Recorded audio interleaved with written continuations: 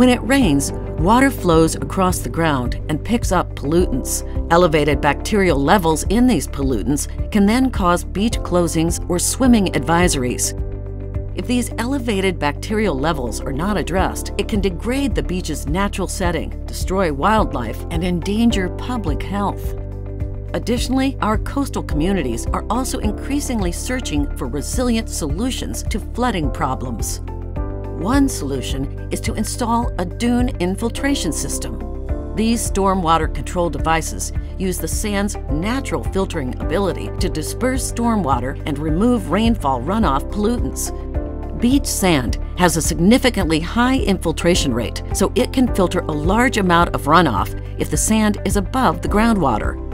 Studies have shown that these systems remove between 75% to 95% of pollutants. Does it work? Before the development of coastal areas, rainfall easily infiltrated into the sandy soils of the dunes and recharged shallow groundwater.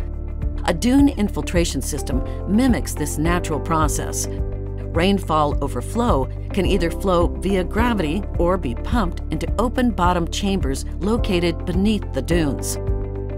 From this point, the storm water infiltrates into the sand and strips the pollutants and pathogens using sorption and bacterial desiccation. The filtered groundwater then migrates to the ocean, flowing underneath the sand dunes and beach sand. Studies have shown that groundwater bacterial levels return to normal levels as much as 75 feet downstream from these systems. Coastal flooding is more than a mere nuisance. It can be a real safety hazard for people who live and vacation in these communities.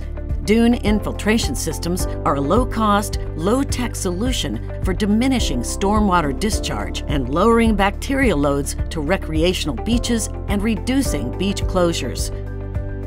Want to know more? Contact us at info at wkdickson.com.